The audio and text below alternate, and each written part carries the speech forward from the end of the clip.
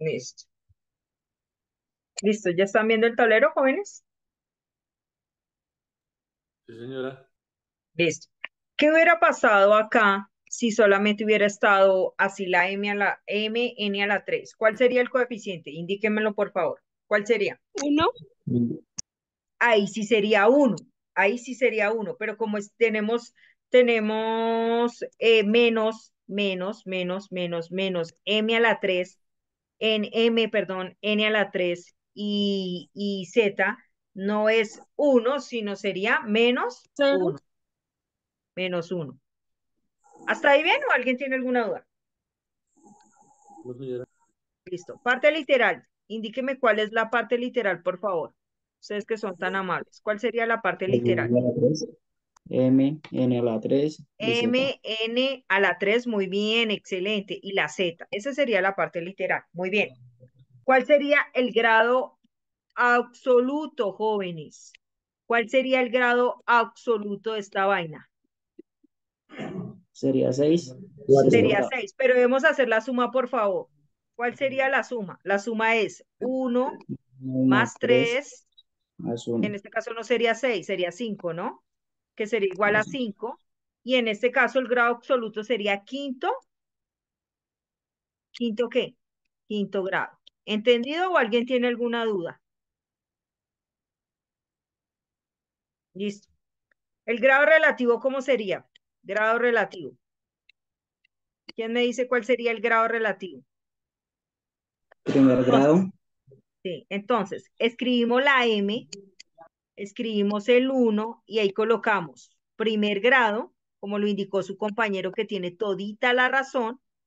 Luego indicamos que la N, dos puntos y un 3, y ahí sí sería tercer grado, tercer grado.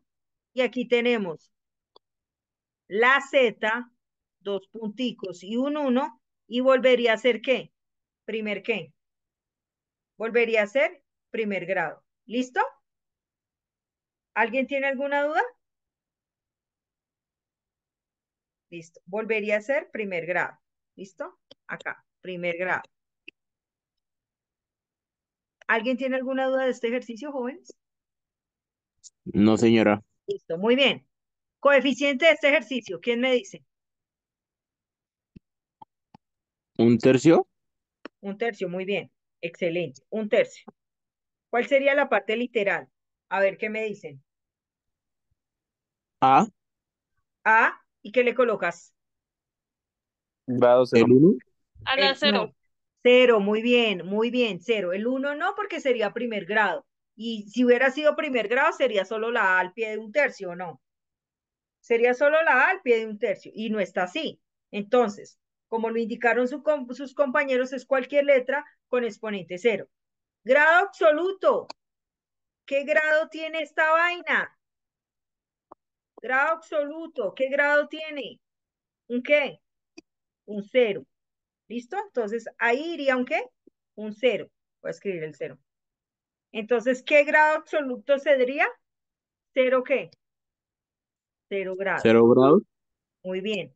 Grado relativo. ¿Qué letras inventaron ustedes? En el grado relativo, ahí sé si se copian o no. ¿Por qué razón? Porque es una letra inventada por ustedes en este ejercicio. En este, en este caso, su compañero dijo que la A y esa A tiene un cero. O sea que también sería cero qué? Cero grado. ¿Entendido? Sí, señora. ¿Alguien Señora. tiene alguna duda?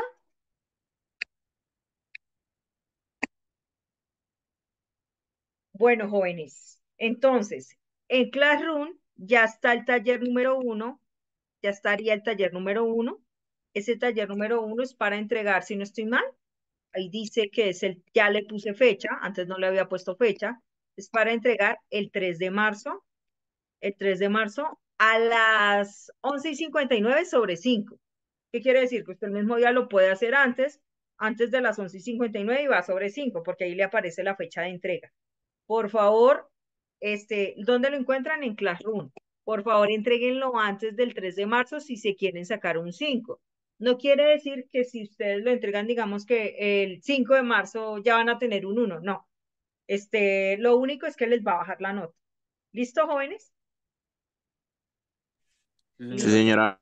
Listo, jóvenes. De verdad me disculpo por, por, por estos, porque la tecnología a veces nos supera y me disculpo por no te- escribirles adecuadamente. Igual yo ahorita les mando, de pronto no son los mismos ejemplos, pero les mando una imagen de más o menos qué fue lo que vimos nosotros para que ustedes puedan copiar y si tienen alguna duda, con mucho gusto me indican. ¿Listo, jóvenes?